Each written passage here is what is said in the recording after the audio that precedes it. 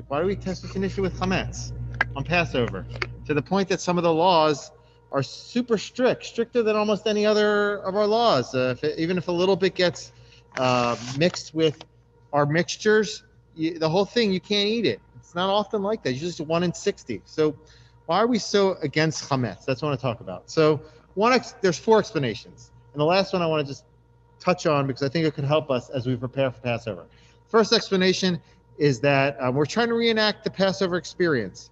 In Egypt, the Jews left, uh, appears in the Haggadah, the Jews left in haste and their bread couldn't bake, and so they carried matzah. So we want to reenact it.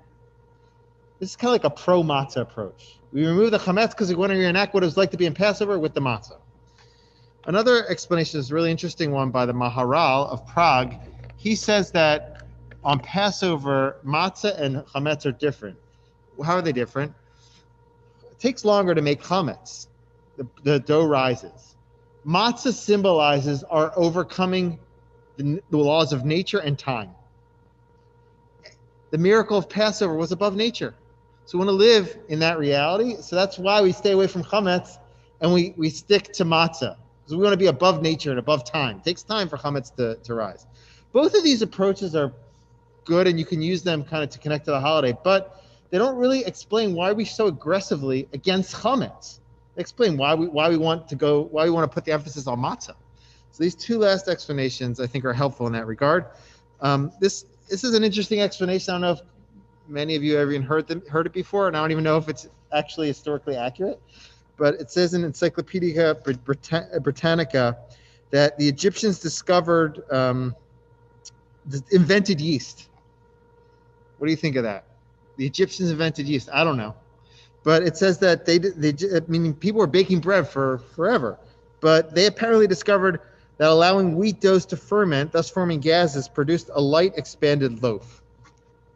Okay, so when the Jews, so that's why the Jews were so against chametz. This was the this was their creation, and the Jews wanted to stay as far as they could away from Egypt and away from their inventions and their creations and everything that was associated with the Egyptians. Perhaps like their their um, enslavement, their uh, overpowering other all their negative traits. This was like one of their central inventions, according to this. The final explanation, which I think would be helpful as we prepare for Passover, is what appears in the in the Talmud, in the Gemara. It says that the chametz, um, chametz symbol is symbolizes our yetzer hara, something that's extra. Right? It takes time for the for, for dough to rise and, and to become chametz. Similarly, our egos expand and they inflate, and that can withhold us from achieving true freedom on Passover, the holiday of freedom. So I think this approach, this fourth one, is like it's one that's talked about the most. But I think that this is actually a very helpful one as you prepare. So now we're going to start preparing our homes for Pesach, start cleaning, removing, removing chametz. This is something you can think about as you do it. Think about it. Think about like what's what's what part of yourself is a little bit of your ego perhaps is a little inflated and as you remove the chametz, think about ways that you can remove that from inside yourself.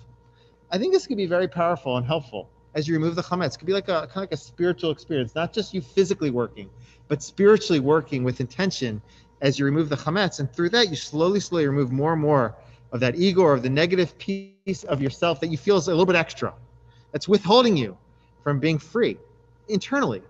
And as you do that, you remove it, and slowly, slowly, you can get to a point where you even burn it and completely remove it. I don't know if you can ever completely remove it, but really take a large step towards overcoming something specific. So that's like some internal work that you can focus on as you remove chametz based on the fourth um, fourth approach to why why remove chametz.